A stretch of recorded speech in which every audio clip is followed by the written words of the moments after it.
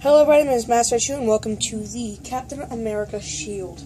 So the first thing we're going to be working on is you need a huge piece of um, poster board. And you're also going to need at least one weight. Oh crap. And then um, probably, preferably a five gallon bucket lid. Gotta close the door for a second. Preferably a five gallon bucket lid. Um, you could get those at like fishing stores or you can just use some if you were a hunter, some people would use them for that. And what you're to do is you're to set that five gallon bucket lid in the center. It's a little bit off. There we go, in the center. And then you're going to set the weight down. When you put the weight down, take out a pencil or something dark enough, and then just trace the outline of that. This way, you got the beginning of the first red line outside of the blue, which is where the star is. Go around this twice, and then you got the beginning. Next thing we're going to do is we're going to find something smaller to fit that. So we got the beginning, and then we're going to have, this is the red line, we're going to have a white line, and we're going to have a red line. When we get that, we're going to have a little blue space in here, but we're not going to do that yet. So I'll be right back. If any of you guys know what this is, it's a party pail lid. You need to use these for like birthdays and stuff. We're going to set this in the center of this, so we have about an inch off of each.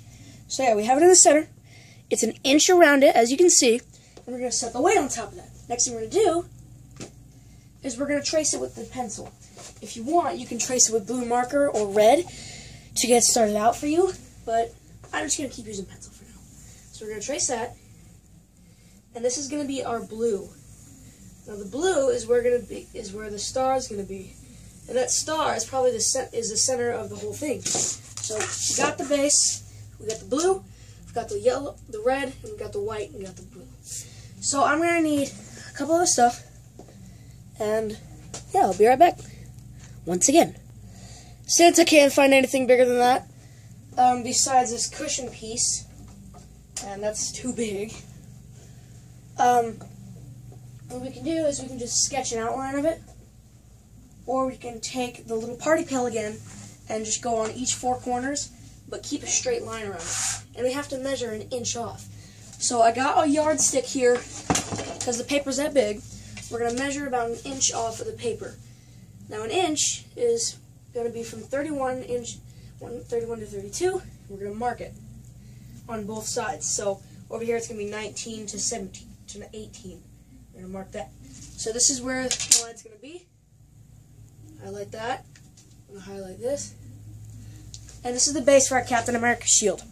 So as you can see, we got two little lines on each side. And what we're going to do is we're going to cut those out, but we're also going to use a compass on each side to line it up. And when that happens, that compass will be put right here on each corner. So right here and here. That compass will line up to the point where we turn it and it'll create the shield. And we'll have to like use the compass um, on a round scale. And a round scale is basically a circle that has a, it's not a it's a protractor, not a round scale, a protractor, a protractor.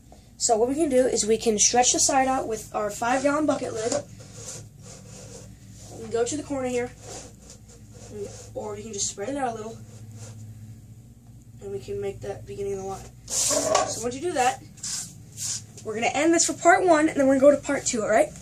After this, we're going to start cutting it out. I mean, after we're going to start finishing the lines and we're going to start cutting it out. Then we're going to put it on either cardboard or whatever you want to put it on because this is just a small little paper shield that's only used for like props and stuff. And eventually we'll either color it with paint markers or we'll spray paint it. So yeah, this is the end of part one, guys. See you guys later. Master Shoes out for now.